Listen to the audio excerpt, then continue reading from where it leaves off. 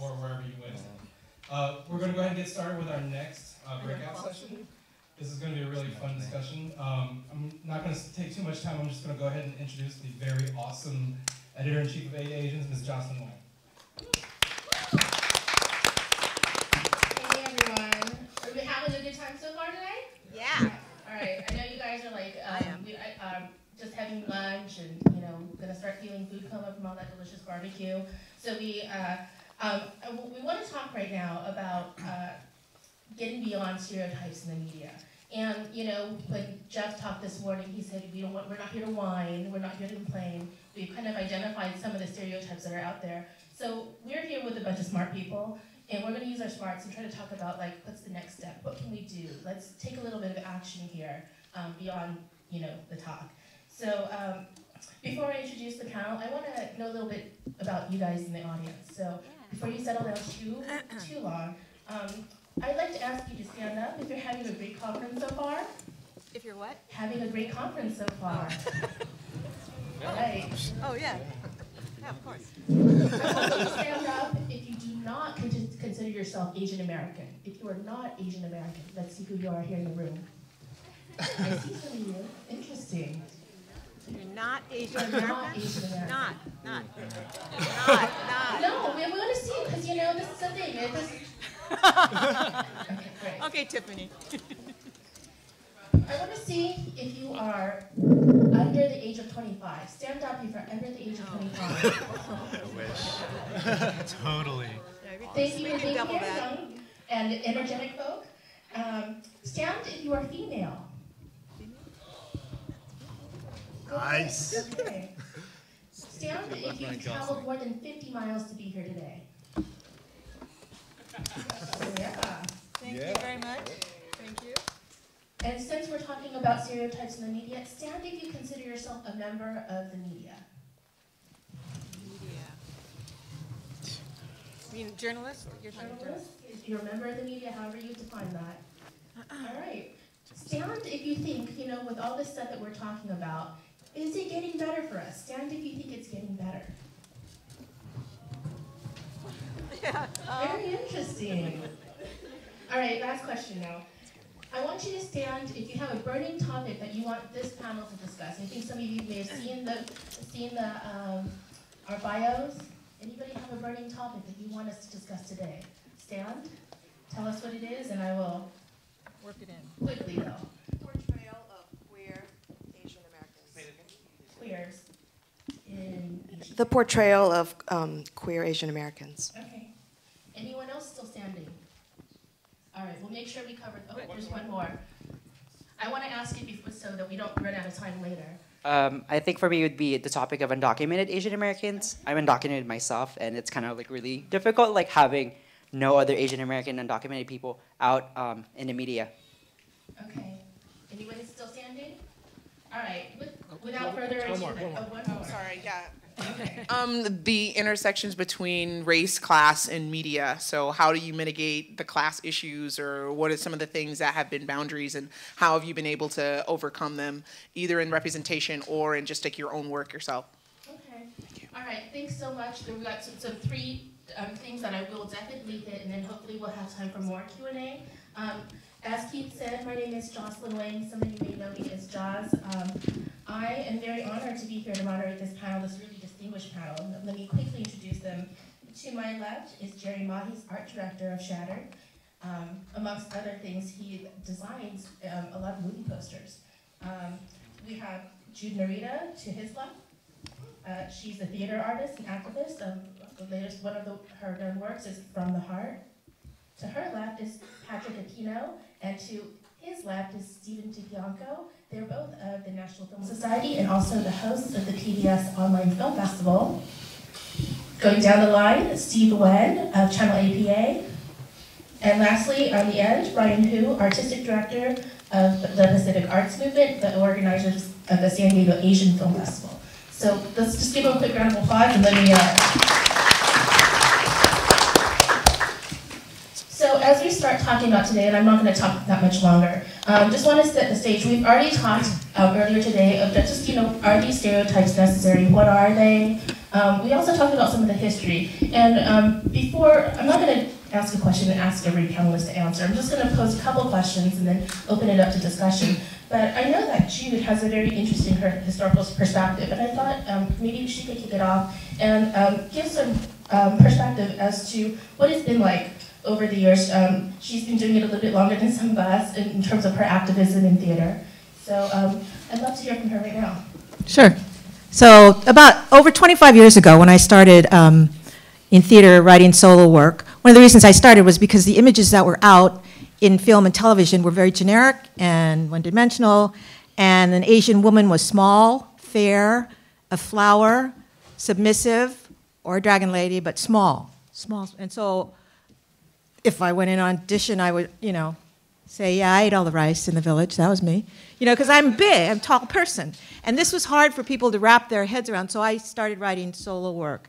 But I tried to be really specific because the images that I would see, I wanted to see my dads, or people's dads and brothers and grandfathers, and I wanted to see some, some good guys up there. I wanted to see some good women up there. And, but I also started taking images that existed, like a Vietnamese bargo prostitute, a mail order bride, um, you know, quiet, don't rock the boat, Nisei, uh, and I dealt with racism and global war and, and everything that, and, and everything that that entails and how women become just chattel and they become, uh, you know, disposable. And, and since war is generation, has been generational in Asia, meaning somebody's great grandfather, somebody's grandfather, somebody's father, your brother, your husband, your son could all have fought in Asia. So what does the enemy look like? Okay, we got it, we got it. In that family, me and somebody who looks like me is the enemy. And so, you know, it's trying to break that and humanize. And I think people on earlier panels also said this, humanizing, uh, humanizing images that exist. Not, I took, first I started out by taking images that existed and made them human. And the really hard one was the Vietnamese bar girl prostitute. Because I, having grown up in America and watched TV, thought, what is the matter with those women? Why don't they get a better job? You know, and I, I didn't understand about how an economy gets destabilized and how people's value, how what's valuable, what you get money for in a war-torn country. So, um, you mentioned, sorry, I don't mean to interrupt, but you mentioned something really interesting, which is humanizing people. And you also mentioned something about bad guys, which I think is a really good segue Okay. to our, our friends here at the National Film Society, who also, do you want to tell us about your project? Sure. so we're making um, uh, Patrick and I are making a web series called Awesome Asian Bad Guys, and uh, it's a project that kind of was born out of you know us talking about when we were growing up in the 80s and 90s, and you know always seeing these same actors who would just be in these action movies playing bad guys, and they would come out and they would go fight against you know the hero, and they look you know really intimidating, really tough, but then they would just die within like seconds, you know. And it was like, oh man, this guy's gonna be awesome, and then he just died. And so, uh, so our idea was like, hey, let's do something sort of like The Expendables, where we get some sort of, you know, people who were in action movies from like the 80s and 90s and put them together. But instead, uh, we'll just focus on Asian bad guys. And so, yeah, so we're making this project, and the idea is to really, um, you know, take these guys who were very like one-dimensional, um, whose only job was to show up and get killed, uh, and you know, tell their stories. And I think that's a good place for Jerry to, to mention, because I know Jerry, although I introduced him as the art director of Shattered, he also has a lot of knowledge about martial arts and cinema and comics. So I wanted to talk a little bit about um, those portrayals of our mar- the, the martial artist stereotype. I mean, that's one that we all know and love, right?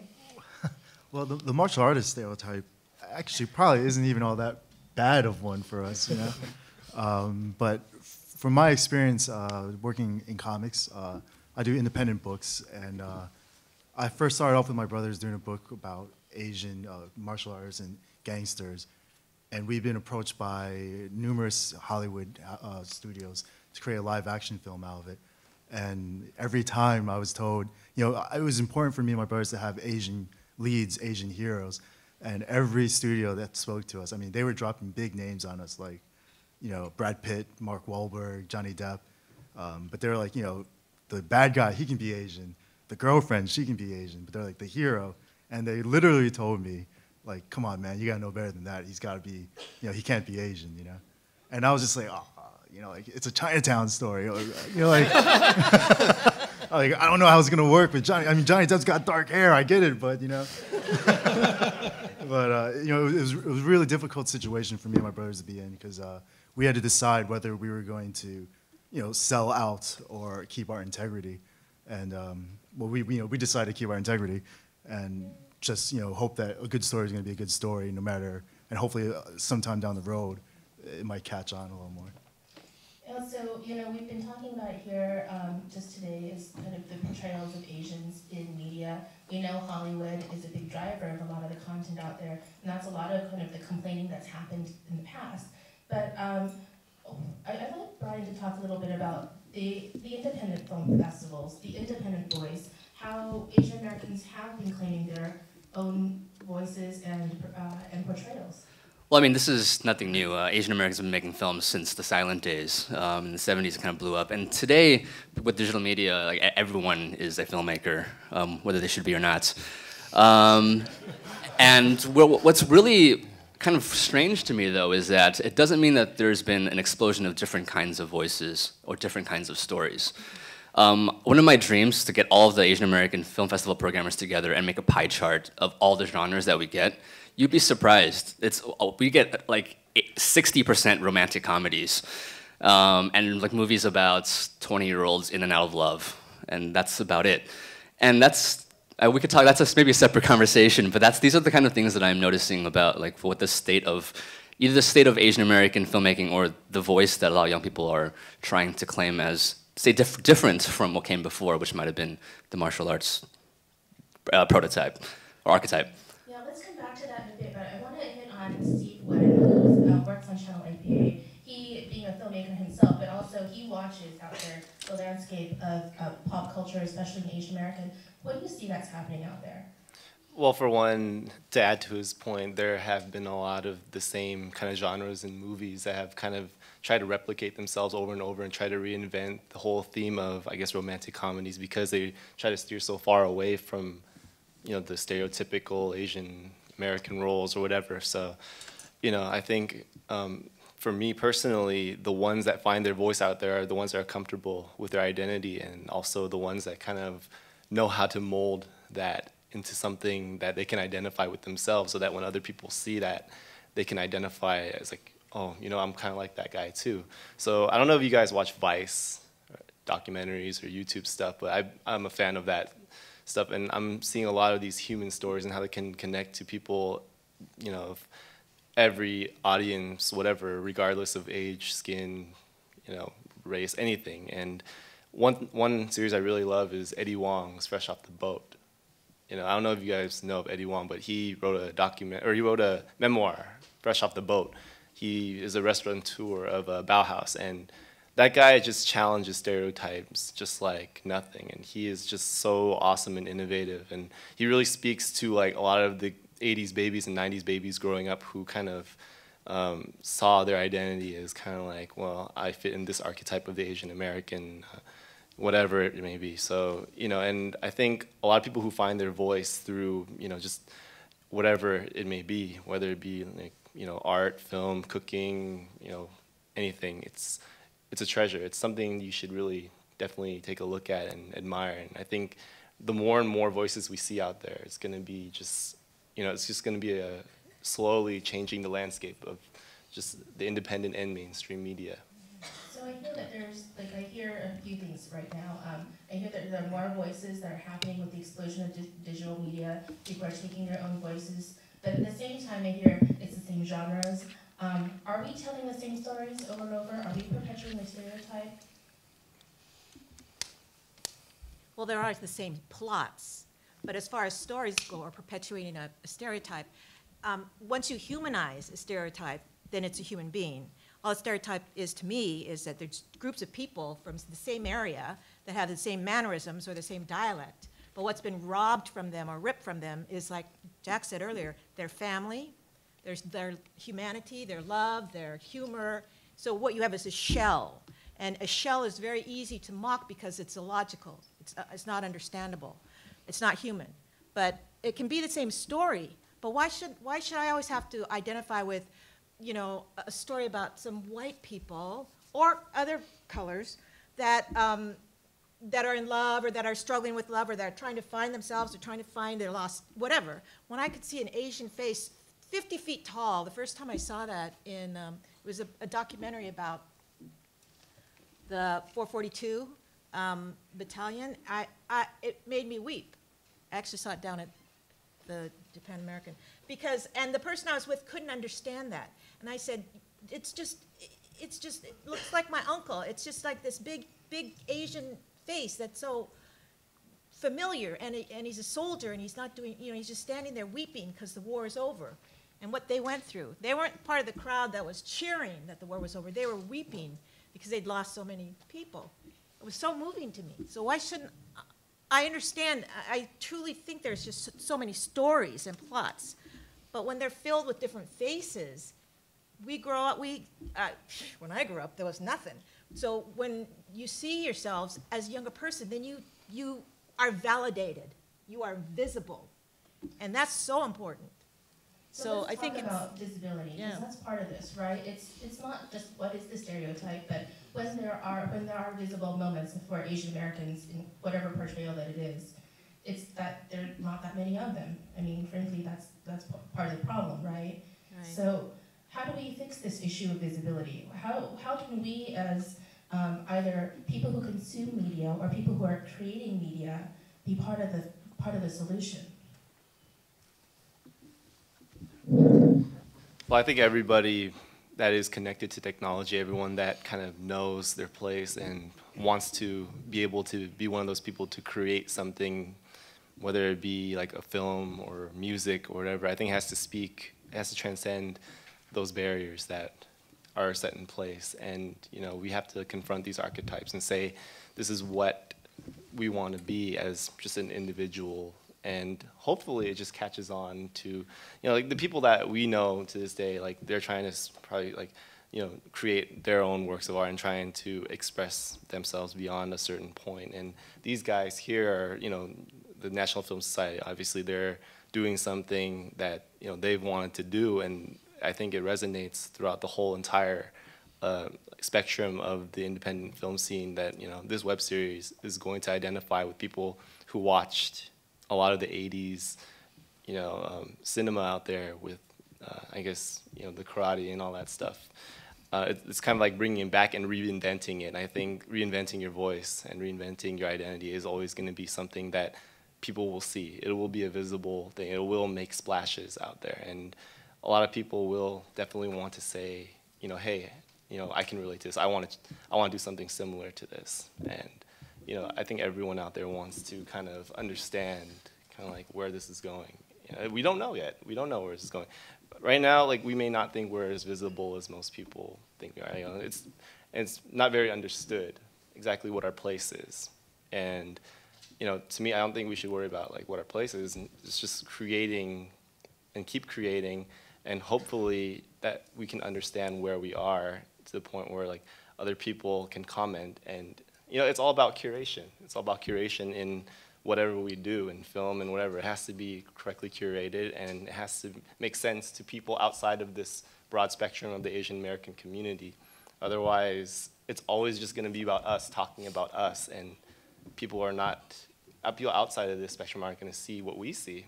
You know, so I think you have to create stuff that speaks outside, you know, to the outside of that community. So, you know, that's why Hollywood may not understand exactly where we're at right now because, you know, although we are a growing community, one of the fastest growing communities actually right now, they still don't exactly know how to identify with us in particular, mainly because we haven't, I guess, made ourselves relatable enough to so them. is this So- our problem? Is this something that we can change? I mean, it's the landscape. It's the landscape of what it is. You know, we're still young, we're still growing, and you know, like it's gonna happen soon. I mean, you're not gonna see it all happen at once. I mean, s- slowly. Jeremy Lin is breaking into the you know the sports scene. Far East Movement and Asiatics that just got signed to um, what was it? Lil Wayne? Was it Lil Wayne or something? Or Birdman's?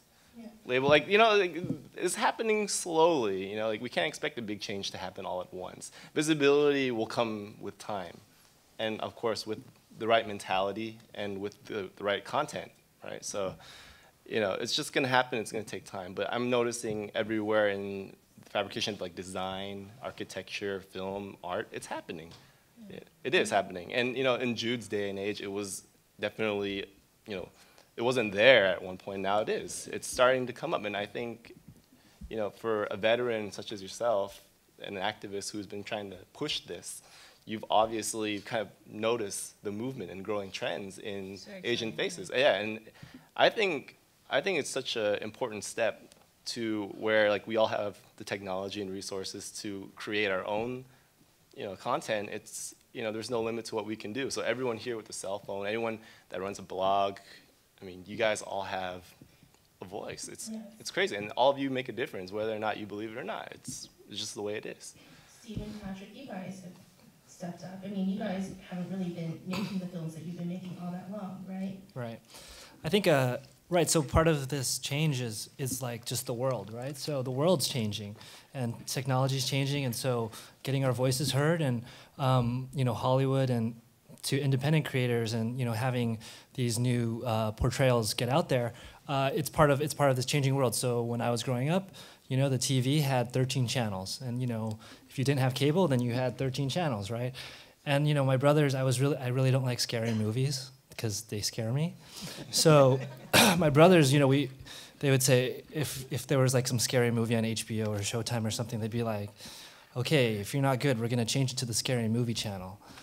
And then like there probably is a scary movie channel now. Like there wasn't really a scary movie channel when I was a kid. But so but what I'm saying is like basically so there's like all this choice, you know, now more than ever before. It's like you could be here or you could be at a movie or at a sports game or you know on a YouTube channel or reading a blog or whatever. And so, you know, instead of like I heard something recently where it was like, you know, back in the whatever 50s or 60s when you had a television show, you didn't have to have like the greatest show ever. You just had to be better than like the other couple channels that was out there. And so, you know, now there's so much choice and there's opportunity for independent creators like us to to share our perspective. Um, and you know, part of it is yes, you know, we have the tools to go out and make it, and but the other half of it is, you know, uh, will there be people there to support that work and you know who demand that work? And you know, we were really fortunate. We did this Kickstarter for our web series, and there's people here who contributed. Thank you so much. Um, and we raised over fifty thousand dollars for our, to to shoot this, you know, small, you know, web series about awesome Asian bad guys. And you know, I'm sure that that that's just the beginning. That there's plenty of opportunities for people to say, "Hey, I want to do something. Uh, let me figure out how I can get the support of the community and get this story, this idea out there." Yeah, and like I think also it's like uh, who was that Nigerian writer that died a couple days ago? Right, and there's that quote: um, uh, "If you don't like other people's stories, tell your own."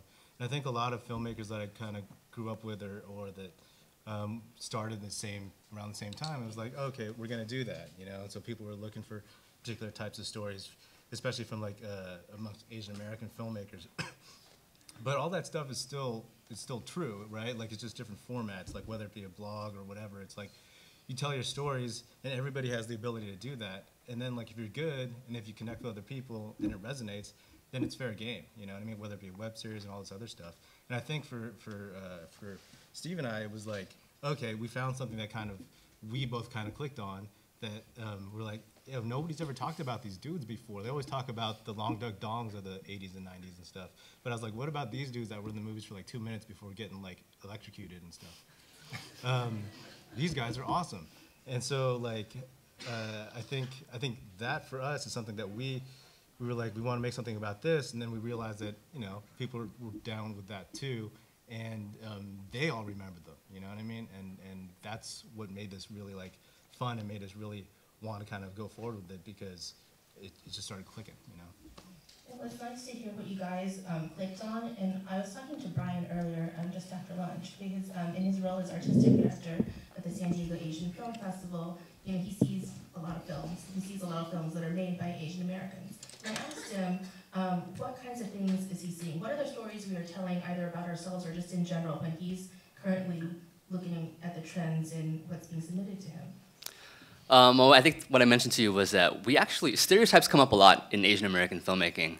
Um, but what I've seen is that I get a lot of short films, and the short films are often just hinged on a hook or on some kind of twist at the end. You know, it's only seven minutes long. At the end, there's some kind of funny twist, and they're all about stereotypes. They're all about um, that guy you thought was the meek Chinese man turns out to be the, the charming whatever. Um, it's just always that hook, that, that twist. Um, we get a lot of them, and they're not really that as interesting as the filmmakers think. But it's sort of like our, our ideas of stereotypes also remain rather simplistic. Um, it's like we took a couple Asian American studies classes, and we think that we're experts at um, Asian American representation and, and, and, that sort of thing. Um, I'm not. If you've made one of those films before, so that's, that's, that's okay. Um, you're, you're on the right track. Um, but but I, I, I guess what I like to do is um, pro- provide some counterexamples to what I see. Um, I, I, first of all, there's some filmmakers now who just don't even like they didn't take Asian American studies classes, and they don't really have that kind of consciousness, and that's fine. Um, someone like KevJumba, when, he, when I watched his early stuff, his web videos, and his dad comes on in the background, who in many ways is a stereotype of an Asian dad. He's hilarious because he's humanized. Um, and when we see enough of him, then you realize, sure, that could be a stereotype, but it's all, could, could be something more. And it's because the attitude of the, the work doesn't seem to be so kind of anxious about stereotypes. But otherwise, I see films like um, there's a film that's going to come out soon called Abigail Harm. Um, I'm told it's going to play at a LA film festival coming up very soon. Um, it's directed by Lee Isaac Chung, who's one of the, the great Asian American filmmakers. And one of the characters in it is this, in many ways, he's a stereotypical perpetual foreigner, like Asian. He barely talks. Um, he doesn't seem to have any personality, yet there's something so magical about the style of the film and the representation, the attitude towards him that it kind of just makes the stereotype not the, the, the conversation anymore. Um, I like to say that we like to play with stereotypes, but let's put the emphasis on the play and not on the stereotypes. Let's have fun and let's make movies that are kind of exciting and unusual and that's kind of creates like a mysticism. Not mysticism, that's wrong, That's stereotypical too. but like, like an, an artistry. Um, and, and so let's put our emphasis on that. And then that, that's what I think the National Film Society has done so well. They, they're focused on their humor. Um, and, and the craft. I mean, many of you don't know, they went to film school. They aren't just two guys who had cameras. like, we, we keep talking about the technologies, like, as if suddenly everyone is going to be a brilliant filmmaker with a voice that, that is worth talking about. But they, they put in their work. They know how to make films, and they've created an aesthetic that, that fits their voice. Um, so, I don't know, I, I guess to the Asian American, I, I see a lot of films that are um, kind of cognizant of stereotypes, but like, I, I want to see filmmakers who actually know how to make films, I guess. That's the point. Just, just one thing, like as an independent creator, I think it's almost wrong to go out and try to break the stereotype. I almost feel like you'll break the stereotype if, if you keep the story personal. You know, if it's personal to you, then generally, generally, the story is going to be, you know, a little more humanized, a little, a little bit better. Uh, and I think when you make it personal, other people are going to relate to it. And once you do something like that, it will, you know, either create or break stereotypes. You know, I just don't think you can go out and be like, all right, I'm going to make every Asian guy huge and tough and strong, and you know, every white guy's going to be, you know, short and dumb. You know, you know, like I just, I just don't think it. You know, like you can't do that. Like, but if you just do it, like everyone knows a smart whatever or a dumb whatever or an athletic whatever. You know, um, so if you just tell it, and, and I think people can relate to it if it's a more realistic, humanized, personal story. You know. You know, not everybody can make films, um, but so I'm speaking more from the theater aspect of how I've noticed a huge movement of individual of solo work, and um, I'm in, I'm also involved with the LA Women's Theater Festival, where I should be, but I'm not because I'm here, um, and it, it's just the work, you know, because when somebody steps on stage, you can't help it, but you start to you definitions start coming in your mind of that person, what that person is, and then they start to speak, and they're and they're they speak from their heart on stage, and it's just it, they just become just so um, beautiful, just so attractive, just so alive, and they're speaking things that you know about, and then they're speaking things that you don't know about, and it's just amazing. I think I think theater is a is a good segue between life and film because you can afford theater. You, th- anybody can afford theater to, to put up a show, and it, and anybody can write something and can read from their journal, can write read a poem. It, it's just like it's just amazing the creativity and the voice that is striving to get out. And in these, in these open mic sessions, these uh, festivals, these theater festivals, these women festivals, just every, all these festivals that allow new voices to um, present themselves on stage, you know, it's just phenomenal. So I, I, I just am amazed and I'm encouraged, I'm inspired, I'm challenged, I'm, I'm just encouraged by the work that's coming out on stage. I just want to say that. I want to start, I want to turn the table a little bit here, and I want to address those three topics that were burning areas, because I know, like, we don't have a say about what's being uh, set up here, so I wanted to give audience chances to, to really talk about some of the things that were coming up.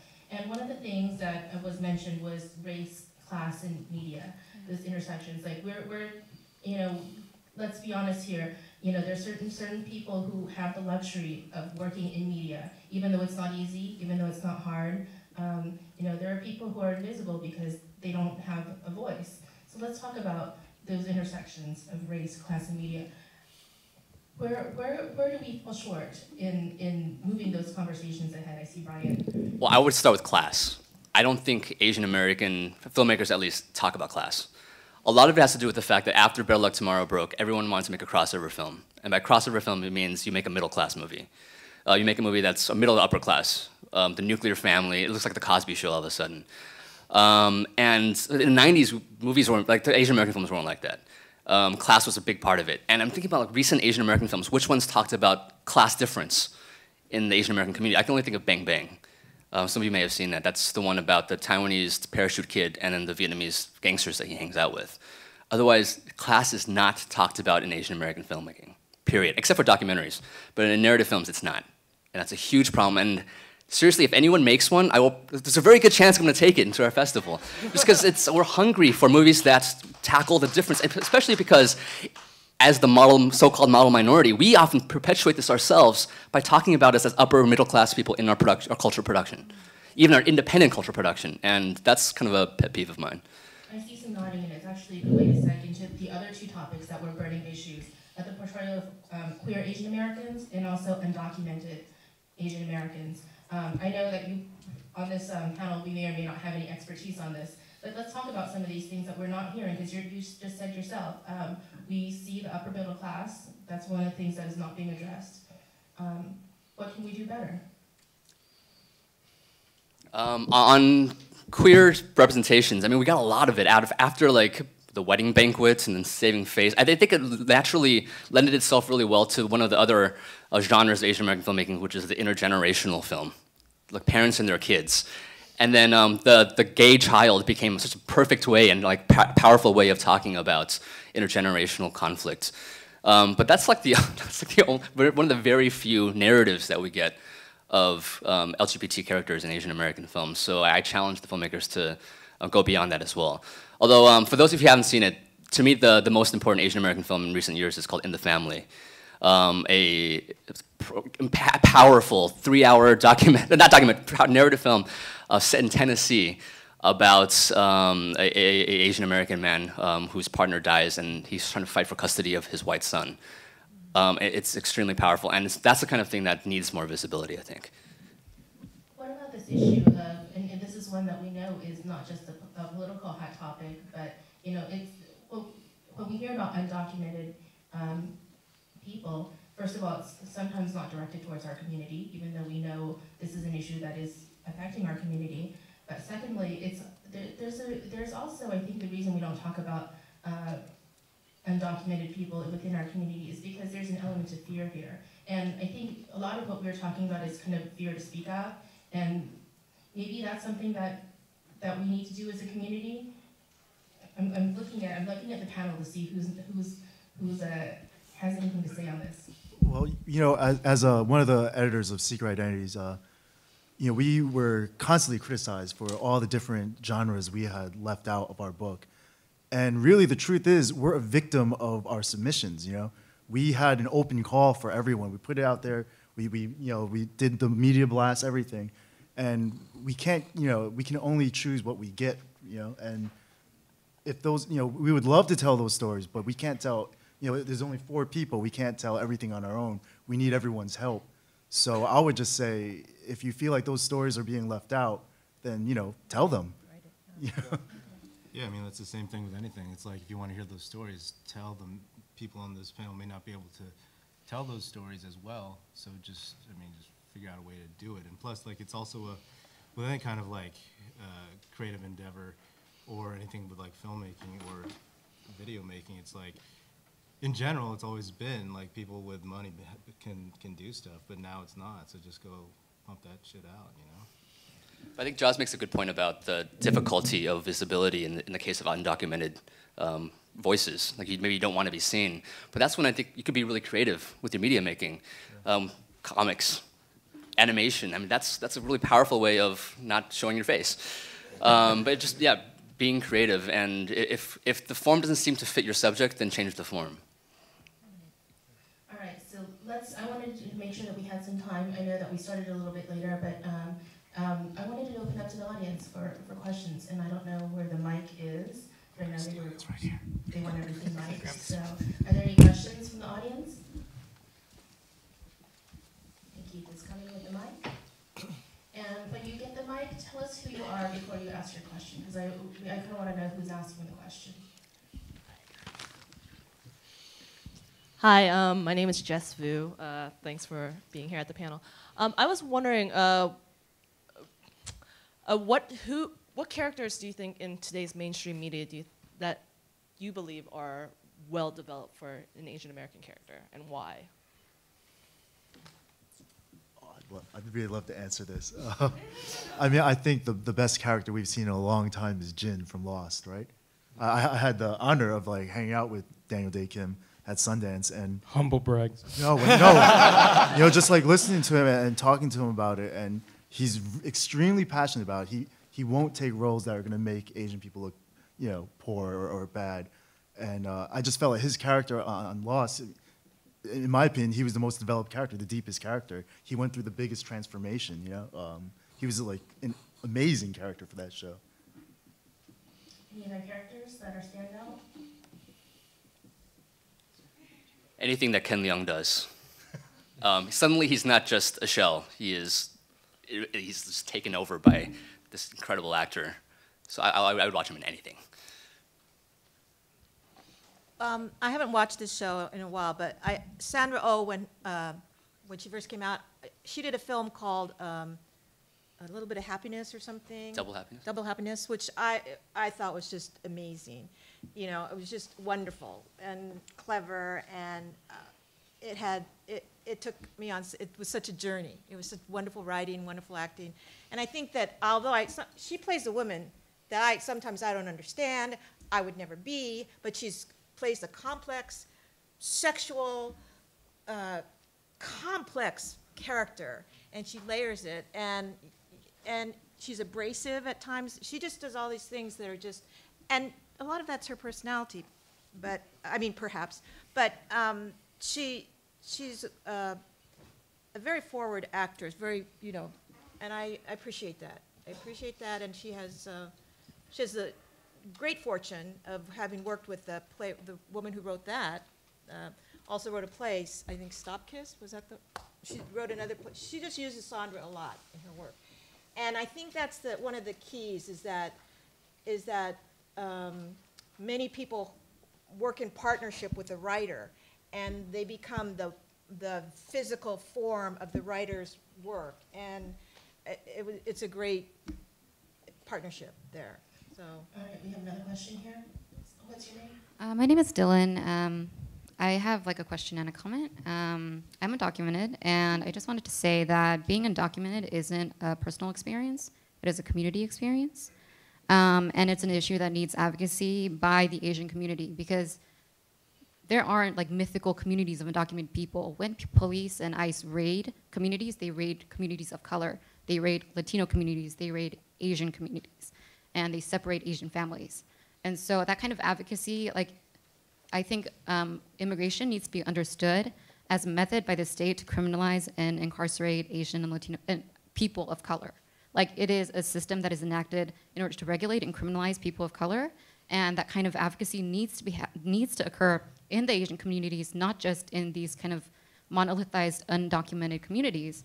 Um, and so, you know, personal experience is very um, important, and expressing that is very important. But it also shouldn't just be expected to be addressed by the undocumented people. Um, it has to be addressed by communities of color. Absolutely, and thank you for, for speaking up, because, you know, we, we only know our own experiences at first, right? So I'm, I'm actually really impressed by people saying I am undocumented, because it's sometimes something that we, that others have the luxury of never having to think about. Certainly. Um, and I, I had a question as well, um, just about the Asian Pacific Islander identities. And um, basically, um, that, I mean, is forming a, a kind of essentialized Asian Pacific Islander identity necessary? I mean, like, we are kind of in the ether in terms of identity, which I don't necessarily see as a bad thing. Um, and, you know, like, every Asian American book that I read is like, there's a disclaimer about from the author that's like, oh, like this is what I mean by Asian American. These are the ethnic groups that I mean. Um, but like, is it necessary to, or, or is it essentializing an Asian American identity? Um, can, can that be dangerous and used for the benefit of white supremacy? Or can it be developed in a way that doesn't create spaces and discourse of exclusion? what? There, or can an identity be de- developed in a way that doesn't create spaces of exclusion? So she's asking questions about Asian American identity, um, about the definitions of these, and um, and um, you know, is are is creating an Asian American identity dang- dangerous? Am I mis uh, misquote? yeah, is it dangerous or can be used for the benefit of white supremacy when we start trying to essentialize the Asian American? Absolutely. Um, and I think that the, the key is to get away from talking about what is Asian American identity, more just talking about the Asian American community as this kind of political force, uh, and something that we, that we all have a voice in. Um, so at the film festival, we, uh, one of our goals is to shock people about what Asian American can be, and shock them out of their ideas of Asian American as a face that, that, that they know. So at our festival, we showed um, this film called Late Summer, all black cast, set in Tennessee. Happened to have a Korean American director. We showed it. Um, and the fact that the point is, we want people to come to the Asian Film Festival and then be surprised by what Asian American can be. So I think we could, we could still hold on to the idea of Asian American or this label, but just constantly use this as a way of surprising people about the diversity and about the kind of porousness. The fact that I mean, mixed race or um, uh, Asian Americans who are adopted, just kind of kind of break that and break through. It, it's important to remember that Asian American, that word, that phrase has not always existed. That came out of political, student political movements to get Asian American studies, uh, ethnic studies. A lot of it came out of Berkeley, UCLA. You know, that I, I mean, it's it's phenomenal that I, th- those people are still very active in the communities. But there was a time when that there was no phrase for that, and it's so common to us now. So um, it was used as a rallying cry, and it was acclaimed as a, it was claimed as an identity, you know, as opposed to being something that separated us. It united, and it it it, it was a political political choice and a political force. All right, there's a question here. Yeah, yeah. I don't know if I have a question. I kind of have something uh, I kind of want to. Oh, I'm, I'm Case. I'm a filmmaker. Um, been doing it about 12 years, mostly network and studio stuff. And this is something I've kind of been thinking about for a while since I've been in the industry. And I think it's a great place to kind of share it with everyone. It's kind of a call to action. And we have to think media is a business, and it's, a, it's, it's about making money. And when we have something that's racist against African Americans, uh, there's a unified group that will stand up and uh, boycott a restaurant. Asian Americans as a whole is not a unified group. You have Filipinos, you have Koreans. We don't necess- necessarily support each other. So until businesses and uh, studios recognize us as a unified group, we're not going to have the power to influence um, commercials or purchases or whatever. So that is something that we have to start thinking about. How, how do we get recognized as a financial power? Do you have a question for the panel? Um, their thoughts on it mostly. There are groups that are trying to do that. I mean, there's like, uh, there's Asians in the media. Guy Aoki's group has been around, I'd say, for 15 years at least, you know. It's just, it's, there's, you know, and they boycott things, they write letters, they meet with studio heads or studio, people in the s- studios to talk about projects, but it's not, I understand what you're saying. I understand what you're saying. I will say something, I know some of these guys. You guys want to make money, don't you? Know, Don't eat I it. mean, I think Don't eat it. I think people want to tell stories, they want to be creative, they want to, you know, there's a lot of things that they want to do, but I think they also want to make money. So I know this is a, a struggle. It's not just that Asian American filmmakers or Asian American creatives are dealing with. Actually, with the digital revolution, everybody's trying to figure out how to make money right now because the whole system's changing. Um, do we have time for one more question? Okay, we'll take one more right behind you. And tell us who you are. I'm an old woman, and and I've, I- find these questions fascinating. And you talk about Asian American. When people, by and large, refer to, let's say, South America, it, it's like one lump without differentiating the extraordinary individuality of each nation. And I would like to see the, the intersection of Asian American with the differentiation and the fascinating history and background of each one of the nations, so it isn't one lump. And how you can make them both work as a, as a form to, you know, to solidify unified action versus really getting to know the different cultures of Asia or Latin America or Africa. It's another one that gets lumped, you know, with running around animals instead of the extraordinary differentiation. Does anyone want to talk about that issue? Because I know it's something we struggle with when we talk about Asian American identity. When do we stand together and when do we stand apart?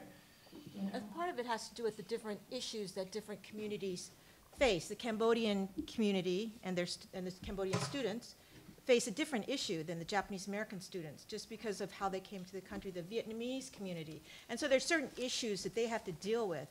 Um, uh, they feel they have to, they have to deal with, you know.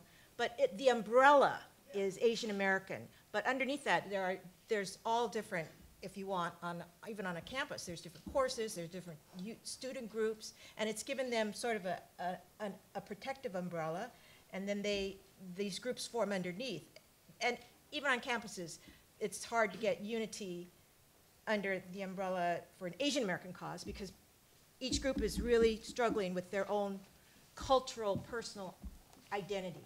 You know, so a lot of it has to do with how they came to America, how America has treated their history and their culture, how they might have been robbed of their own personal historical heroes because they were on the wrong side of the war.